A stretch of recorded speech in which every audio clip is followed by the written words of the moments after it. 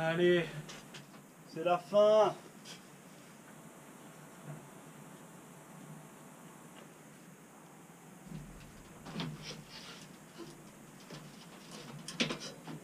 Allez, c'est bon.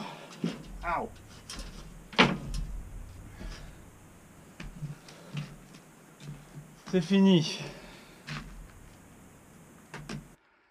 Ça y est, c'est fini. Bon, fini.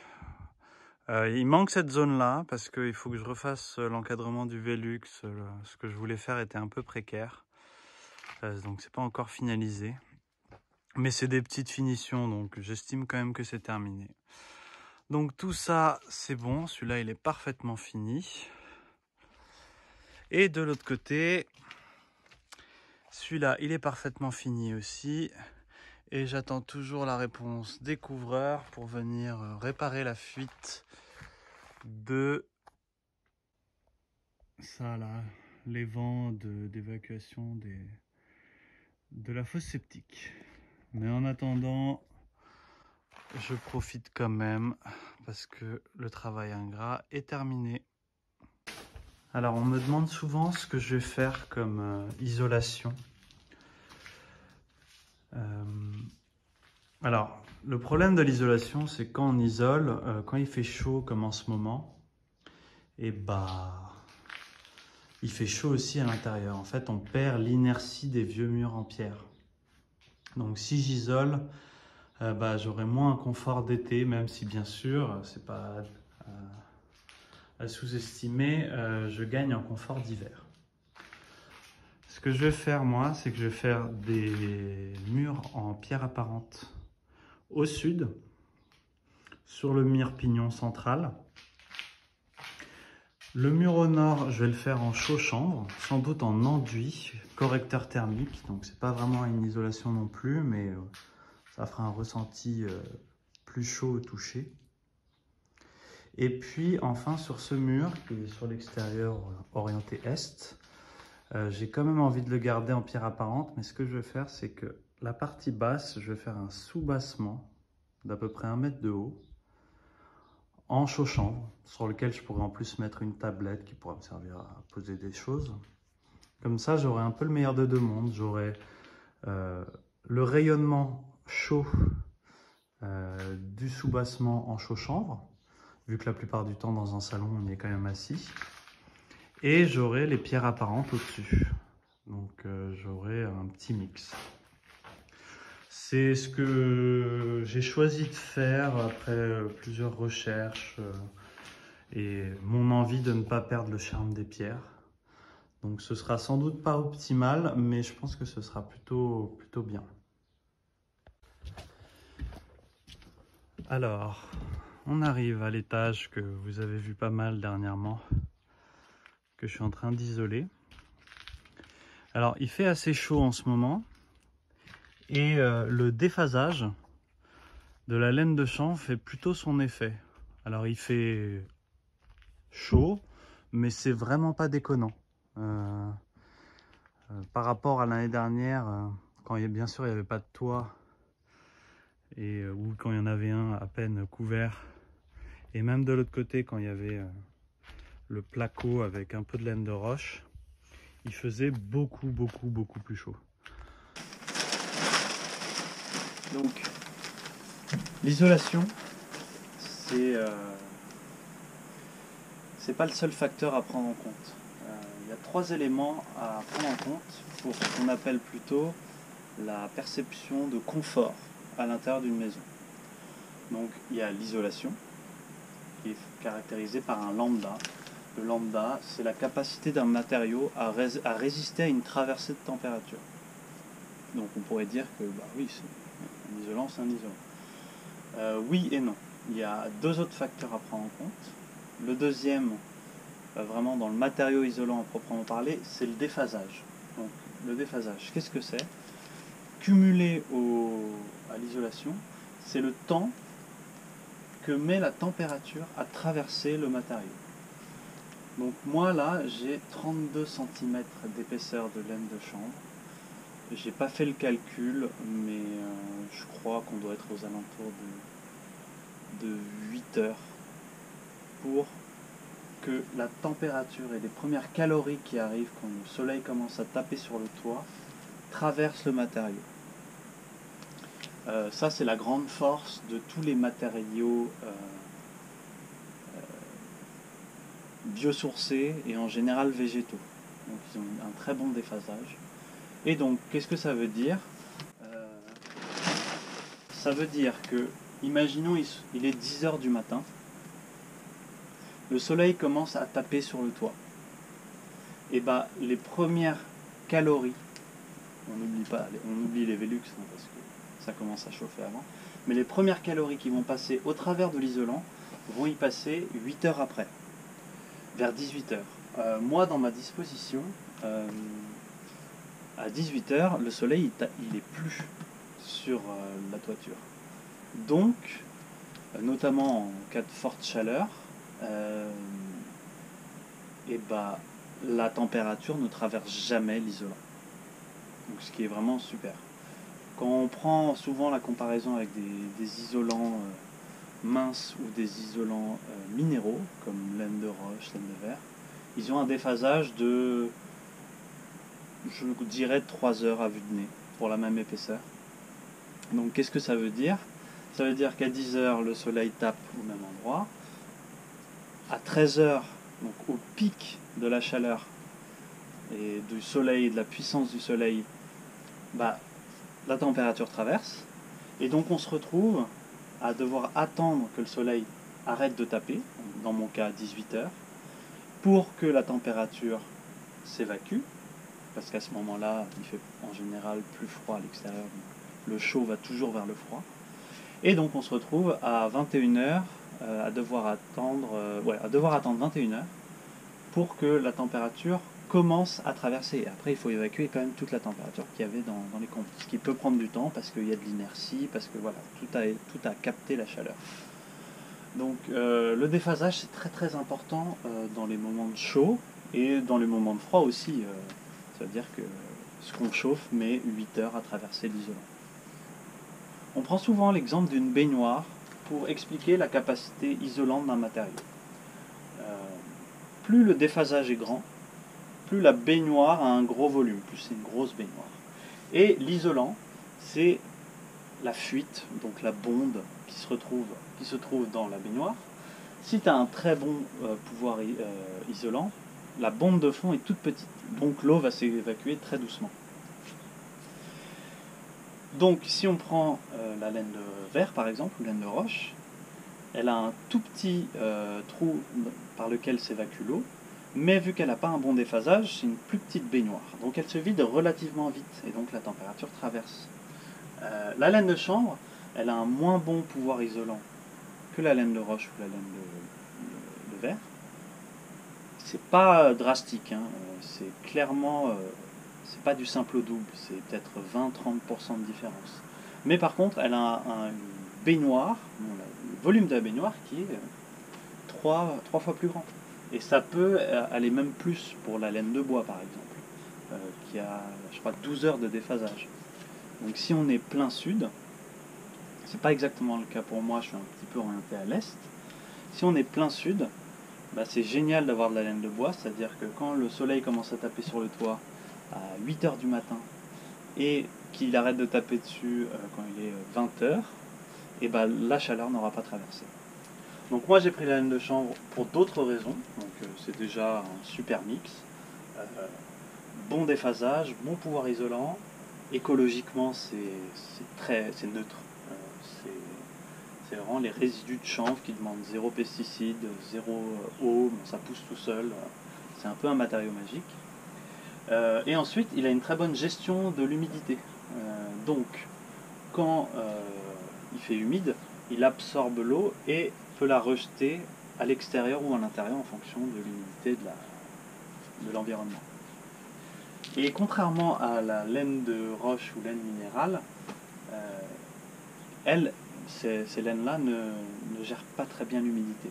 C'est-à-dire qu'elles la gardent, souvent ça condense, et en plus elle résiste très mal au gel. Donc s'il fait très froid et que l'isolant gèle, ça c'est carrément possible, eh ben, l'eau va s'étendre au moment de, son gel et va casser les fibres de la laine de roche et de verre. Et donc elles perdent tout, leur pouvoir isolant, ce qui n'est pas le cas de la laine de chanvre. Il résiste très bien aux nuisibles. Euh, en fait, c'est avec ça qu'on fait les cordes. Là, c'est vraiment la fibre, donc il n'y a rien à manger dedans. Donc euh, c'est le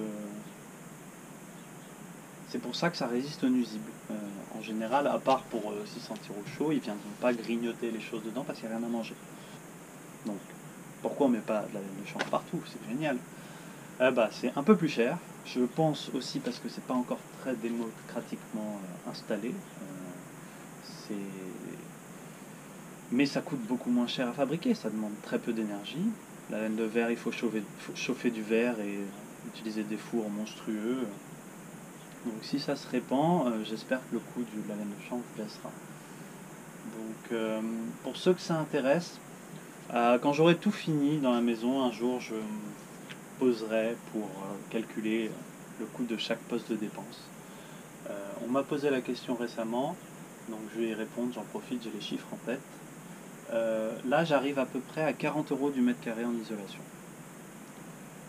ce qui fait un bon poste de dépense quand on voit la surface du toit, mais c'est pas non plus déconnant. Euh, pour le confort et sans doute les économies d'énergie que je ferai par la suite, c'est plutôt bien. C'est le deuxième point. Et le troisième point, c'est encore autre chose et c'est pas vraiment lié à l'isolant. C'est euh, la l'effusivité. Alors c'est un mot un peu compliqué pour dire à quel point un matériau est chaud au toucher ou froid. Donc on va dire pareil là, plutôt on va se placer en hiver. Quand il fait euh, froid en hiver, euh, quand on touche une paroi de verre, du métal, on sait que c'est beaucoup plus froid que euh, du bois par exemple.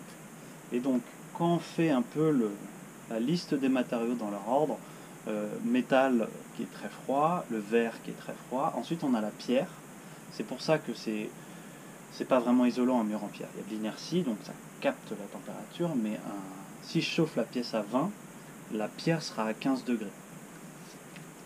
Donc voilà, et au fur et à mesure qu'on avance, ben, on a euh, le bois, bon, le placo, le bois, etc. Donc il faut trouver un matériau qui rayonne via l'effusivité chaud.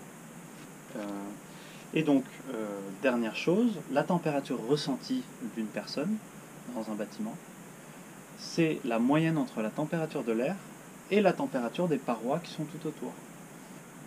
Donc toujours en hiver, euh, si on fait la moyenne entre la température d'une paroi et la température de l'air, on peut se retrouver à chauffer l'air à 20 degrés par exemple, euh, que le mur soit à 15 degrés, et que la moyenne des deux soit à 17,5, ce qui est très bas, et du coup bah, on, on a une sensation de froid même si on chauffe à 20 degrés. C'est pour ça que je vais mettre par-ci par-là euh, du chaud-chambre, parce que lui, sa capacité, c'est que en termes d'effusivité, il est tout le temps à la température de l'air. Donc, je peux chauffer à 18. Vu que le chaud-chambre sera à 18, la moyenne des deux sera 18. Et donc, en chauffant 2 degrés de moins, j'aurai une perception de la chaleur qui sera plus grande. Donc ça, c'est super important. C'est pour ça qu'au rez-de-chaussée, je vais faire un sous-bassement. Quand je serai assis, ça va rayonner de la bonne température au niveau de mon corps. Voilà.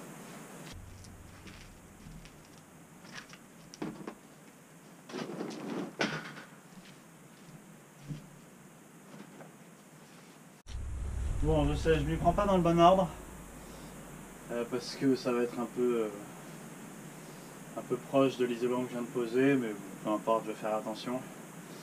Euh, je prépare le terrain et je vais arroser pour demain enduire ce mur, comme celui d'à côté, qui sera un mur qui donne sur la salle de bain, que je vais donc venir isoler par la suite avec un peu de laine de chambre avant de plaquer. Voilà, donc euh, là il fait très chaud, donc je vais bien bien mouiller. Euh, et pré-mouillé demain également pour, euh, pour pouvoir en dire tranquillement.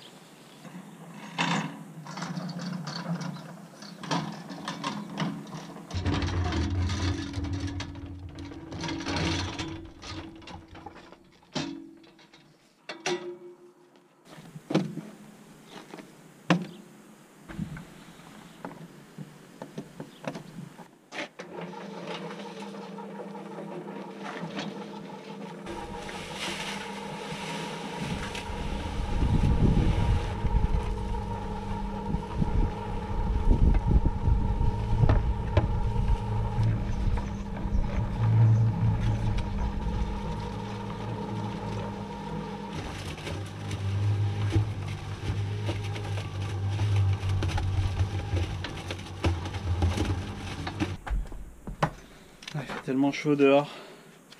Je l'ai fait assez sec le mélange, mais je, pour qu'il s'accroche bien et qu'il se travaille bien. Et après, je, je repulvériserai sans doute.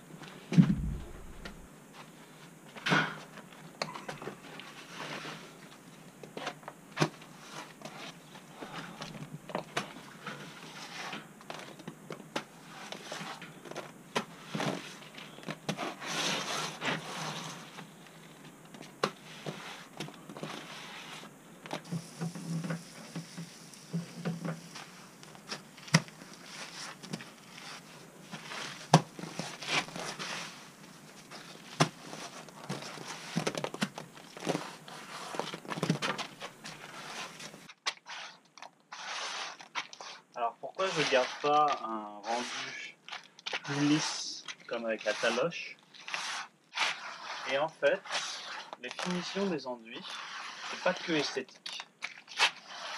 Plus un enduit est lisse, plus il est imperméable.